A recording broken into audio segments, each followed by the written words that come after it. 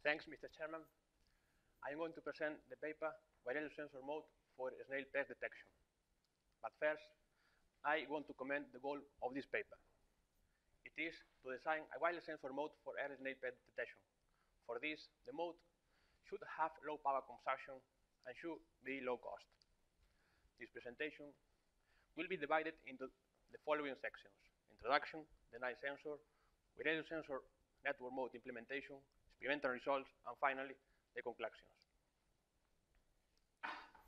I am going, I am going, uh, I'm going to start with the introduction. Snails are the cause of many agricultural and economic losses. Therefore, early detection of snail pest is very important in agriculture. Nowadays, the farmers regularly use molluscicides uh, which have high economic impact and collateral effects. As an example, sorry, as an example here, I show, I, I, see, I show you dispense uh, immunosicides in Spain. Is it, it is a relevant cost. Because of the snail activity is only at night and the snails search for a refuge to rest and escape from predators, we make a shelter for them where they can be detected. The, the shelter is a PVC tube with 25 centimeter high and 5 centimeter of diameter. The, the sensor is placed at the, at the top of the shelter. Here we, we can see the actual of the shelter. Now I'm going to speak about different kinds, kinds of possible of possible sensors to, uh, to detect the snail activity. The multimedia wireless sensor network let a single interpretation with a camera and a companion chip, but the multimedia system are both expensive and power hungry. In this slide, I show you the ultrasound-based sensor, but they aren't adequate in our approach because they emit and being cause many reflections on the wall of the snail shelter, giving rise to false alarms. Other kind of sensor are the the capacitive, capacitive detector, but they have a short detection range and will need a very complex structure in the shelter. The photoelectric sensor use a light transmitter and a photoelectric receiver. In this example, uh, a photoelectric uh, sensor is used to detect the termite activity. The sensor is based on an optical light path that is normally blocked by a veil. The veil becomes transparent when there is termite activity.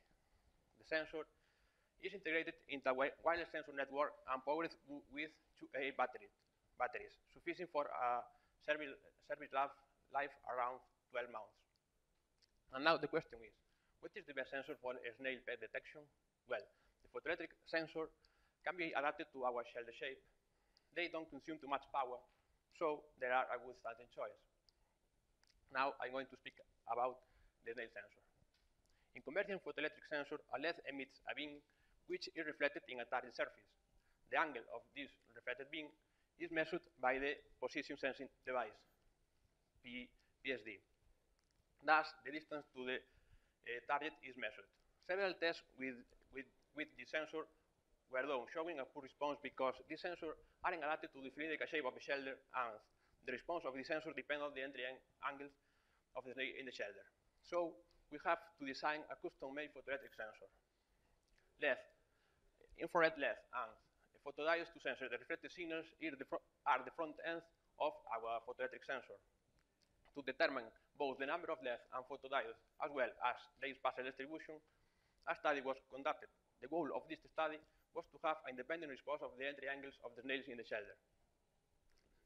The best uh, distribution found consists of four, four LED and five photo, photodiodes distributed circularly. In this slide, I show you the conditioning circuitry for the LED and photodiodes. The current generated in the photodiode, photodiodes transformed into voltage with, with a transimpedance amplifier. The gain is set by resistor R, R5 the resistor R6 and capacitance C adjust the offset and stabilize the output, filtering out high frequency noise, noise uh, and the, the amplifier is implemented with a low input bias current CMOS device. As we can see in this slide, different en uh, entry angle of, angles of the nail produce similar voltage distance plots. On the, on the left, we can see the response of the nail entering in the shelter at 135 degrees. This is, this is in front of photodiode element number 7. On the, on the right, we, we can see the response of the nail entering in the shelter at 130 degrees. This is in front of a left. Therefore, a threshold voltage for a comparator between 1.6 and 1.7 can be set, and this comparator uh, will let us know if there are or not snails in the shelter. A printed circuit board adapted to the shelter shape is, is built to include all elements of the photo, photoelectric sensor. Now I'm going to speak about the wireless sensor mote implementation. Arduino Fio is used to control the photoelectric sensor and to implement the comparator. The most, the most salient feature of Arduino are both a sleep mode in, uh, in which it only consumes about 200 microampere and a XBee socket. XBee is a wireless module that runs the ZigBee protocol. It also has a sleep mode in, in which it only consumes about 10 microampere. To supply power, power to the system, a LiPo battery of 1000 milliampere per hour is used. Uh, to extend the battery life, a solar cell is chosen. This solar cell provides a maximum voltage of 4.5 volts a maximum current, current of 100 milliampere. This is the actual appearance of the wireless sensor mote. Now I'm going to speak about the experimental results and the uh, measure process. First, it should be noted that the uh, infrared-based uh, detection makes, makes it hard to use the sensor during daylight. So our sensor works, works with no background radiation. The calibration pro process is performed when the mote is turned on for the first time at its final site. In this process, the background voltage without nail is saved. In the measure process, the background radiation is checked and, and the absence uh, of background radiation triggers the snail detection. The, the voltage measured is compared with the voltage measured in the calibration process. And if the, this voltage is higher, there are snails in the shelter, and then the result is transmitted. After calibration, uh, the sensor performs two, two, tasks in order to know if there are or not snails in the shelter. First, the sensor measures the background, uh, background radiation without the LED working. If there, are, uh, if there is background radiation, this method is repeated after, after uh, 15 minutes. But if there is background radiation, the sensor also uses the LED in order to, to check inside the shelter and then the result is transmitted.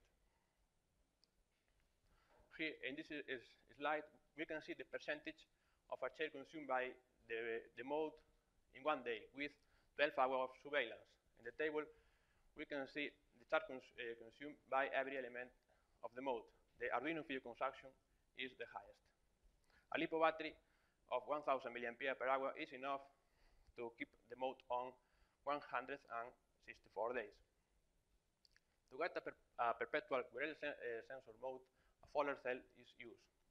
Only five daylight hours of 1.25% uh, of a solar cell of 100 milliampere of its maximum current is necessary to get a perpetual system. In this photo, we can see the experimental step uh, used to verify the sensor beh behavior uh, using an infrared camera to watch over the entry of the, of the shelter. In this slide, I show you a sample of a snake detection. O on the left, we can see a constant voltage, the background voltage, and a snail entering in the shelter triggers a voltage change in the comparator. On the on the right, on the right, we can see a, a photo took with the infrared camera when the snail is entering in the shelter. Finally, I will comment the conclusion. I show you the importance of early detection of snail pests in agriculture we designed a wireless sensor mote embedded in a custom-made shelter. We built a custom-made photoelectric sensor that emits infrared light and measures the reflected light from the snails. Arduino Fio is used, uh, Arduino Fio manages the, the control of the sensor, and XBee manages the communication. A 1000 milliampere per hour battery supplies the wearable sensor mode for 164 days. And a solar cell a perpetual wearable uh, sensor network mote. Thank you for your attention.